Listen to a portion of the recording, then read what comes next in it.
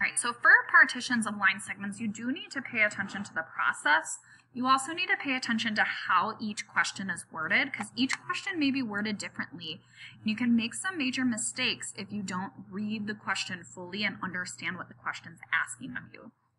Um, so for number one, uh, this is fixed on your end. Uh, however, uh, it didn't give you the coordinates of point A and C. Um, I want point C at negative 7, 1, which is on your page. I have it written. Um, and I want point A at 9, 5. So you would see it as on your page as A is 9, 5, and C is at negative 7, 1. All right. And what we want to do is we want to find point P. So that way the ratio of segment AB to BC is 3 to 1. So that means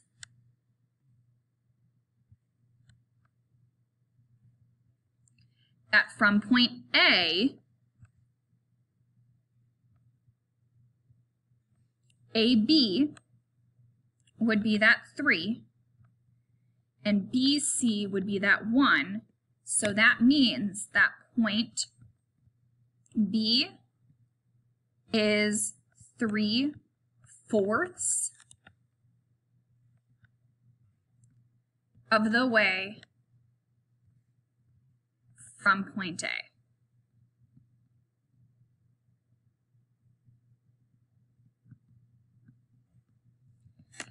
And essentially what we're trying to do is we are trying to find the uh, x and y value of point B, knowing that point B is 3 fourths along this blue line segment from point A.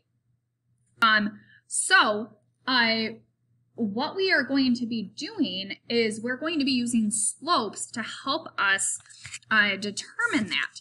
Now, slope is rise over run. Your run represents the x values, the rise represents the y values. And if we start at point A, my run would be 1, 2, 3, 4, 5, 6, 7, 8, 9, 10, 11, 12, 13, 14, 15, um, 16. But I'm going negative 16 for my run to get from point A to point C. And for my rise from point A to C, I would have to go down four units. So that would be a negative four units. That's my rise and my run. Now, what I'm going to essentially do is I'm going to take my um, run, which is negative 16, and I'm going to multiply by this ratio of 3 fourths. Now, when I multiply that ratio by 3 fourths, that's not, it doesn't give you the x value of point B. What it gives you is the run from point A that point B would be. So what we would need to do then is if we would know the run of point B from point A, we could then take that run and add it to my x value of point A to find the x value of point B. So essentially what we're going to do to find point B is we're going to take my run of negative 16 and we're going to multiply it by that 3 fourths and that will give me the run of point B from point A. So then I would need to add 9, the, the x value of 9, to that run to find out exactly how far away point B is uh, or, or to find out exactly the x coordinate of point B. And then same with your rise. You would take your rise and you would multiply it by your 3 fourths. And that would give you the rise from point A to point B. So then to find the actual y, y value of point uh, B, we would need to take that rise and add it to point A. So when we do that, a negative 16 times a 3 fourths on plus a 9 gives us that b is at a negative 3. And a negative 4 uh, times a 3 fourths plus a 5 gets us that our y value is at 2. So point B is at negative 3, 2. So um, if I graphed point B on the graph, that is 3 fourths of the way along this line segment AC. Okay, now there is a, a way that we can do it without the graph.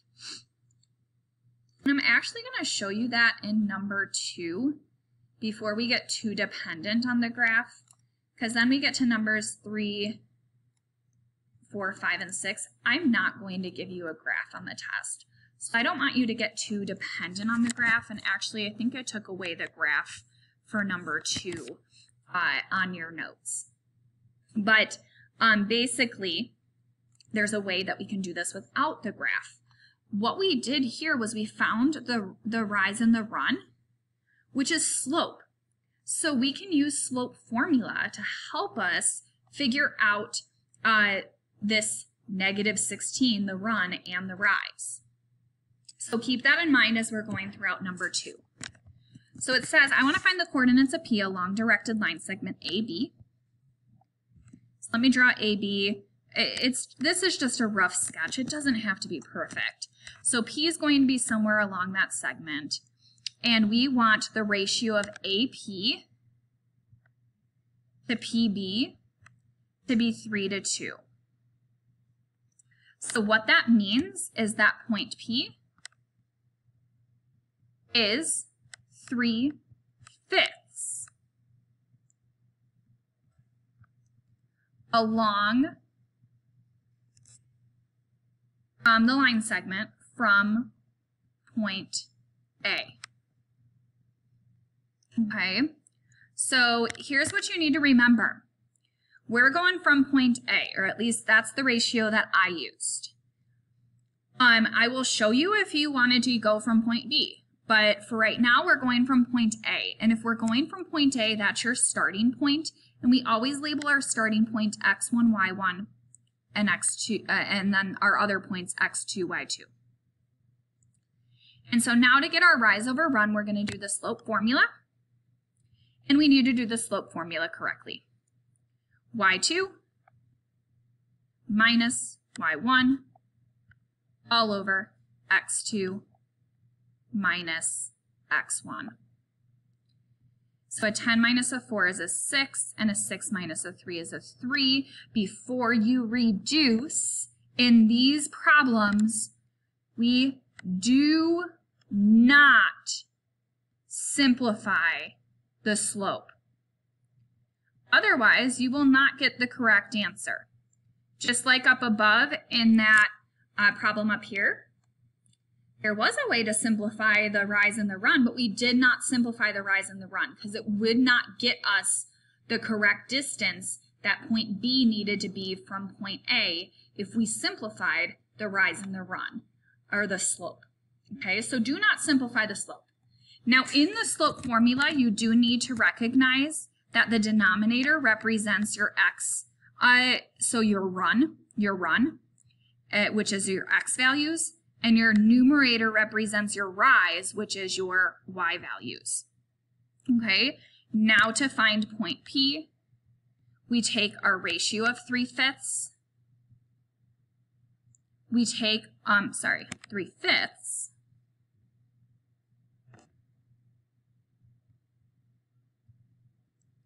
and we multiply that by my run, which is 3, and then we add it to the x value of the starting point, which is 3 from point A. And then to find y, we take our 3 fifths, we multiply it by our rise, which is 6, and we add it to the y value of our starting point, which is 4. So from here, um, if I do a 9 divided by 5 plus a 3. I wind up with my x coordinate of point P being a 4.8. And if I do a 6 times a 3 fifths plus a 4, I wind up with my y value being a 7.6. Um, or you can write it as a fraction. If you wrote the 4.8 at 8 as a fraction, that would be 4 and 4 fifths. And if you wrote the 7.6 as a fraction, that would be 7 and 3 fifths.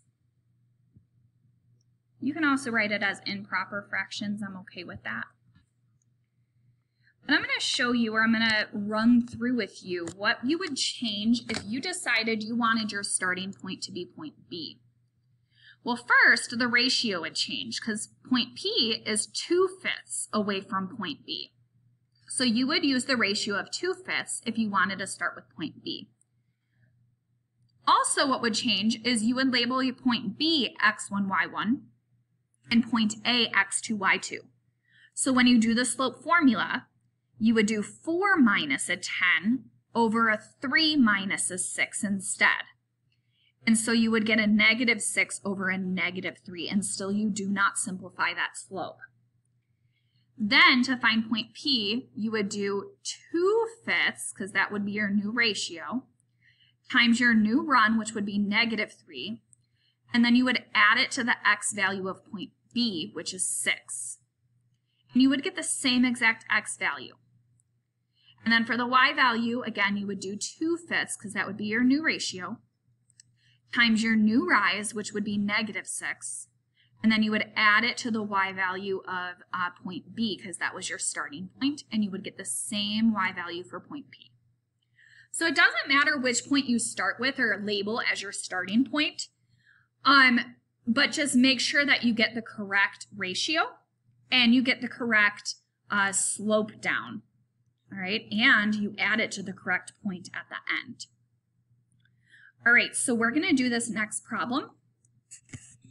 And then we're going to have to extend the other three in a new video. So I have segment, this time be careful, it says segment BA. And we're finding point P, so it partitions BA in the ratio of 1 to 3. So what that means is that um, BP would be labeled as 1, and PA would be labeled as 3. And so P is 1 fourth